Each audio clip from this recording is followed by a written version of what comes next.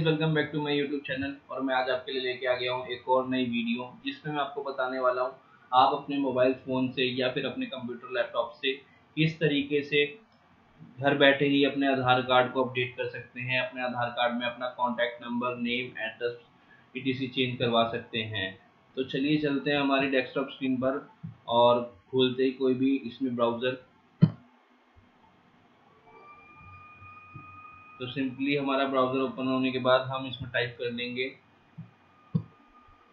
You I D A आई और enter कर देंगे।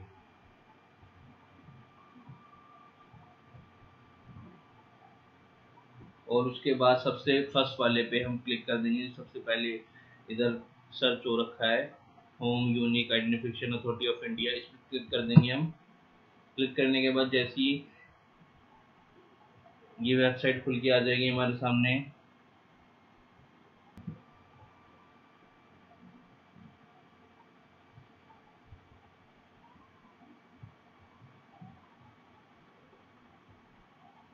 तो फ्रेंड्स आपके सामने कुछ इस तरह की वेबसाइट खुल के आ जाएगी। तो आपको कुछ नहीं करना है सिंपली माई आधार पे जाना है और इसमें बुक एंड अपॉइंटमेंट पे क्लिक करना है। उसके बाद जैसे ही ये पेज खुल के आ जाएगा तो आप ये सामने आपके लिखा होगा बुक एंड अपॉइंटमेंट इस पर डिटेल्स लिख रखिए आपको क्या क्या अपडेट कराना है? फ्रेश आधार एनवायरमेंट करनी है या नेम अपडेट कराना है? एड्रेस अपडेट कराना है? मोबाइल नंबर अपडेट कराना है? ईमेल आईडी अपडेट करानी है? डेट ऑफ़ बर्थ अपडेट करानी है? जेंडर अपडेट कराना है?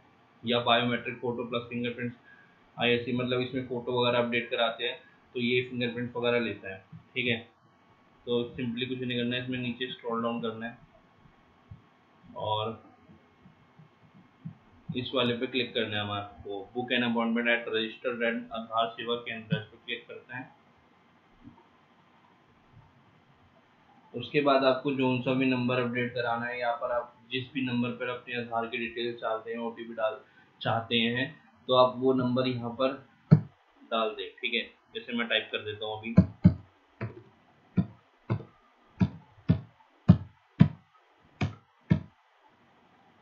क्या बोलते हैं कैप्चा डाल देंगे हम।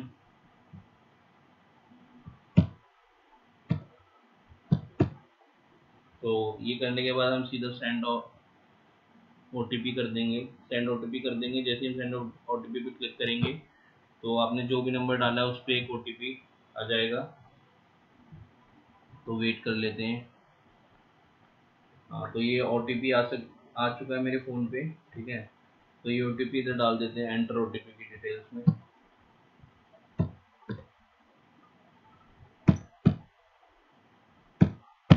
सिंपली एंटर कर देंगे। तो यहाँ पर लिखा है न्यू एनरोलमेंट या फिर अपडेट आधार। आपको इसमें से नया आधार बनवाना है या अपडेट आधार कार्ड करवाना है, ठीक है? तो आपको जो भी करना है तो आप इस पर क्लिक कर सकते हैं। नया है तो इस पर करना है और अगर कोई भी आपको अपडेट करानी चीज़ तो आप इस पर करेंगे। अपडेट आधार पर हम क्लिक कर देते हैं। तो यहाँ पर आपको अपना आधार कार्ड वाला नेम डालना है, जो भी आपके आधार कार्ड पे मेंशन है, ठीक है?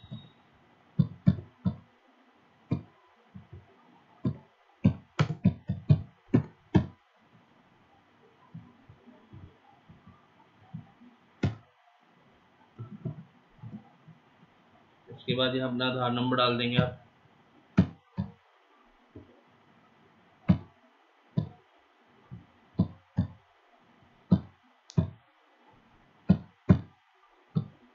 आप अपना आधार कार्ड का नंबर इधर डालने के बाद नीचे आप देख ही होंगे जैसे कि स्क्रीन पर दिख रहा है। What do you want to update तो इधर आपको क्या अपडेट कराना है? नेम अपडेट कराना है जेंडर अपडेट कराना है, या एड्रेस अपडेट कराना है डेट ऑफ़ बर्थ अपडेट करानी है मोबाइल नंबर अपडेट कराना है। ईमेल आईडी है बायोमेट्रिक है, जो भी आपको अपडेट कराना है तो आप उस पर क्लिक कर सकते हैं। जैसे कि मुझे इसमें अपना एड्रेस अपडेट कराना है और मोबाइल नंबर ठीक है? और एक ईमेल आईडी तो मैं इस पर क्लिक करके प्रोसीड कर दूँगा। तो प्रोसीड करने के बाद आपके सामने कुछ ऐसा स्क्रीन आ जाएगा।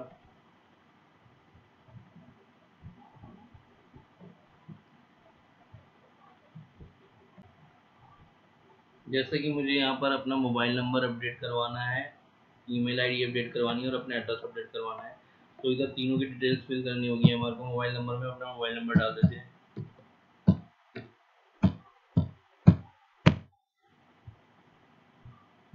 ठीक है, और यहाँ कैप्चा डाल देंगे हम।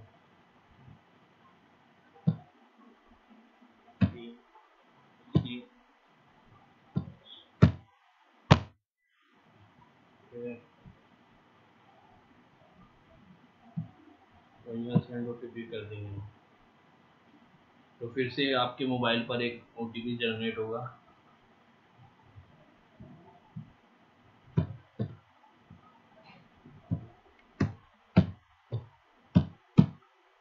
वेरीफाई ओ कर देंगे इनवैलिड ओ बता रहे हैं हम से देख लेते हैं।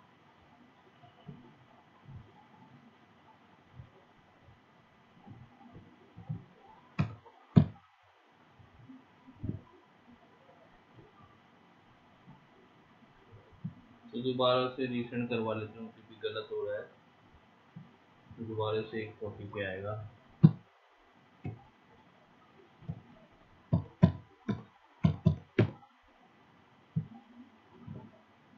तो ये ओ ठीक था, हम यहाँ पर अपना ईमेल आईडी एड्रेस डाल देते हैं, जो भी हमें अपडेट कराना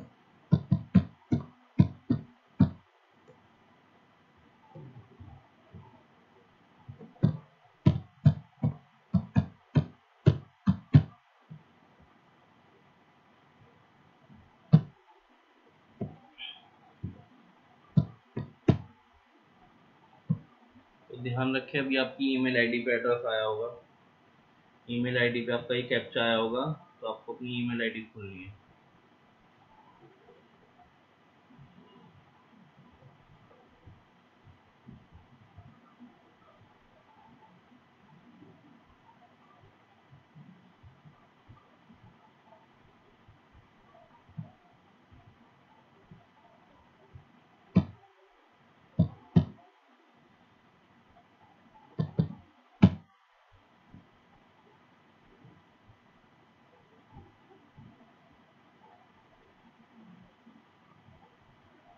तो हमारी ईमेल आईडी पे ओटीपी आ चुका है और हम यहाँ पर वेरीफाई कर देते हैं उसको। ये भी वेरीफाई हो गया। अब हमारे को अपना नया एड्रेस डालना है, जिस भी एड्रेस का हमने। ठीक है तो इसमें हम अपना नेम डाल देंगे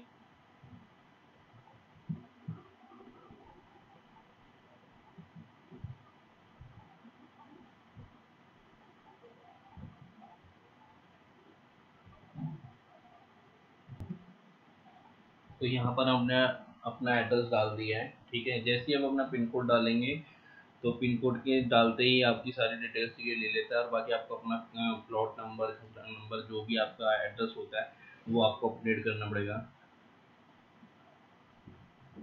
हमने अपनी एड्रेस डिटेल्स डाल दी है तो ध्यान रखें आप अपने एड्रेस ध्यान से डालें, जो भी आपको अपना एड्रेस अपडेट कराना है, ठीक है? जो जो चीज़ें आपको अपडेट करानी है, जैसे मेरे को अपना मोबाइल नंबर अपडेट कराना था तो मैंने उसकी डिटेल्स डाल दी है, जो सा मेरे को अपडेट कराना है और ईमेल आईडी मेरे को जो अब करंट में अपडेट रखनी है, वो डाल दी है। और अपडेट एड्रेस में जो भी आपका एड्रेस है प्लॉट नंबर है, जो भी आपका फ्लैट नंबर है, जो भी आपका हाउस नंबर है, आप वो डाल के इसको सेव एंड प्रोसीड कर देंगे। उसके बाद कुछ ऐसा आपकी डिटेल्स इधर जो भी आपको इन्होंने फिलअप करी है, वो सब इसमें शो होंगी आपको, ठीक है? मैं आपको दिखा नहीं सकता। थोड़ी प्राइवेसी इशू है, ठीक है? तो इस बात का बुरा ना माने। कोई भी आपको दिक्कत है, कोई भी परेशानी, अगर आपको समझ नहीं आ रहा हो कोई भी चीज़ तो आप मेरे से कमेंट्स में पूछ सकते हैं, ठीक है? तो फ्रेंड्स हम इसको एग्री कर देंगे और सबमिट कर देंगे।